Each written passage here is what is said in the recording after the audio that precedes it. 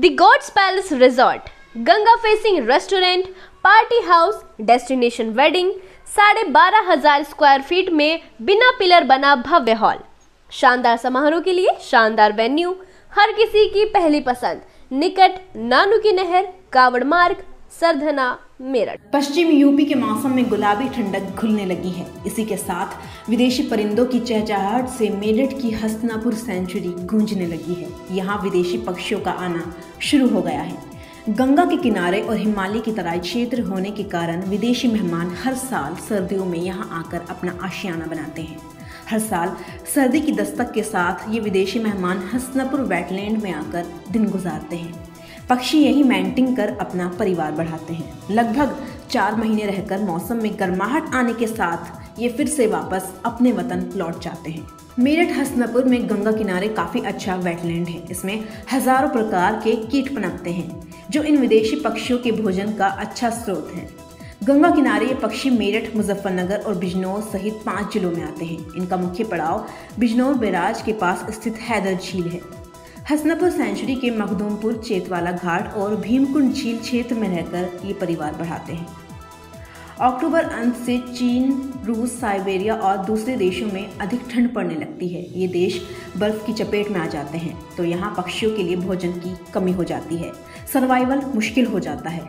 ऐसे में ये पक्षी भारत का रुख करते हैं। इन पक्षियों को यहाँ अपना पसंदीदा भोजन झील में दर्जन भर किस्म की घास और दलदल में कीड़े मिलते हैं। इन पक्षियों के आने से वन्य जीव विहार का प्राकृतिक सौंदर्य और भी अनुपम हो जाता है। बता दें, हज़ारों मील का सफ़र तय कर गंगा किनारे पहुँचते हैं ये विदेशी मेहमान। देखिए इन विदेशी पक्षियों के बारे में डीएफओ राजेश कुमार का क्या कहना है। सर हस्तनापुर की बात करी जाए तो विदेशी पक्षियों का आवागमन कौन कौन सी प्रजाति है बिल्कुल जैसे ही ठंड का आगमन होता है तो माइग्रेटरी बर्ड्स जो दूर दराज के इलाकों से, देशों से आती हैं, उनका आगमन यहाँ पर हसनापुर में स्टार्ट हो गया है। जो भी यहाँ के वेटलैंड्स हैं, उनमें मुख्य स्पीशीज़ स्कीमर्स स्टॉर्क इस तरह की स्पीशीज़ जो हैं, वो दिखाई देनी स्टार्ट हो गई हैं। कुछ गीस की भी प्रजातियाँ यहाँ पर दिखाई दी हैं। और आशा करते हैं गत वर्षों की तरह इनकी संख्या और बढ़ेगी। क्योंकि हैबिटेट के मामले में हस्तनापुर वन्यजीव विहार बहुत ही अच्छा हैबिटेट बर्ड्स के लिए माना जाता है। अच्छा अगर बात करते हैं कौन कौन से देशों से आ रहे हैं? किस जगह से आ, ये बहुत सारे देशों से पक्षी माइग्रेशन करते हैं। मुख्यतः जो ठंडे इलाके जहाँ पे बर्फ़ बिल्कुल बहुत ज़्यादा हो जाती है आ, जैसे कि यूरोशियन कंट्रीज़ के जो पोलर रीजन से आते हैं रशिया के पार से भी आते हैं, रशिया के सेंट्रल एशिया से भी बर्ड्स आते हैं। डिफरेंट स्पीशीज़ बर्ड्स की होती हैं जो अलग अलग वायरेशन माइग्रेशन करते हैं। तो एक देश से ना कह के बहुत यूरेशिया के जो ऊपर के कंट्रीज़ हैं, सभी कंट्रीज़ से यहाँ पे माइग्रेशन होता है। और ना केवल उत्तर भारत में इवन ये सेंट्रल इंडिया तक उसको पार करके भी स्पीशीज़ कुछ आगे चले जाती है। अच्छा सर, बात करें, लोगों में एक उत्साह होता है विदेशी पक्षियाँ हैं तो ऐसे लोगों के लिए पर्यटन के लिए क्या किया जा रहा है? बिल्कुल।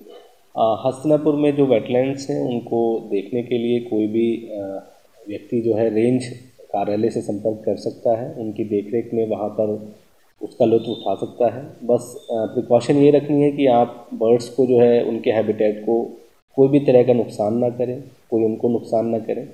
बाकी ये सुंदर दृश्य है इसको देखने में काफ़ी अच्छा लगता है और इसको ज़्यादा से ज़्यादा देखें लोग ताकि और इसको शेयर किया जा सके इस हैबिटेट को हम लोग बचा सकें यही एक प्रयास है।